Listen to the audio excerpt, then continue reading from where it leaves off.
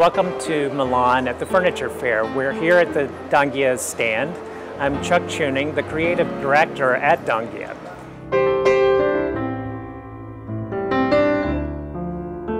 We're sitting here in the Donghia stand showing the new collection. This is our seventh showing in Milan.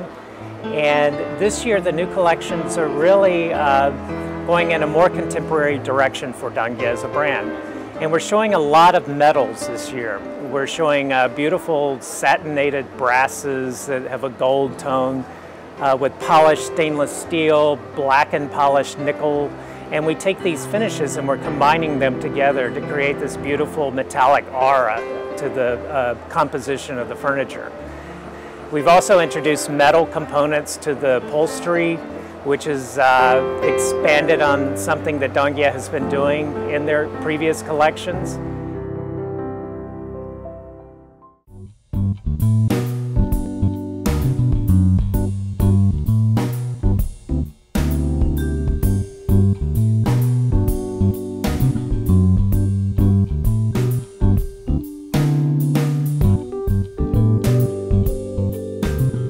This year we have launched a large collection of new lighting. So new lamps in uh, metals and also in uh, beautiful glasses blown in Murano.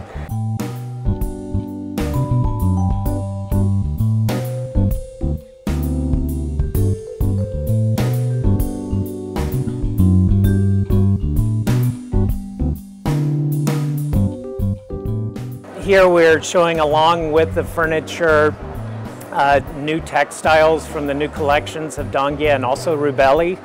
Uh, the new Rubelli wall coverings uh, are being shown. So again, uh, playing on the traditions of Donghia, uh, which is about craftsmanship, it's about luxury, it's about pieces that are collected uh, that become modern heirlooms. They are the antiques for tomorrow.